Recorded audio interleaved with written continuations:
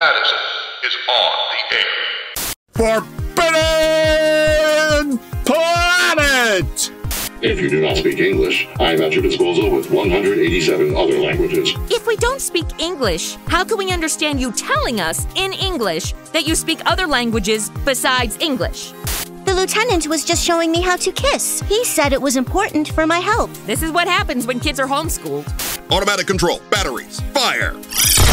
You don't even know what it is and you fired on it? Get on target, Skipper, but it's still coming. I'll stop it! Get back, bosun.